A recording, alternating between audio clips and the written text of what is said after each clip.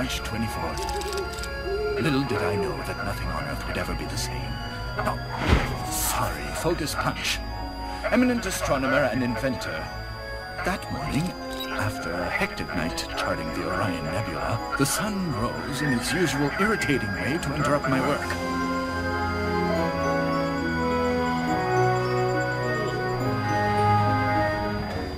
I had barely fallen asleep when suddenly... galaxy was going on? I left from bed with my customary enthusiasm. Thanks to my revolutionary telescope, every movement in the universe is automatically recorded and filed in my databanks. I had always dreamed one day I would make a great discovery.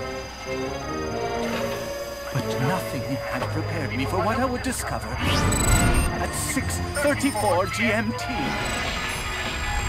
My dream was coming true.